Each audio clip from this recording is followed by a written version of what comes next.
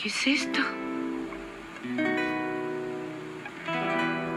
Ah, no olvido mi cumpleaños. Qué tierno de su parte. Ah.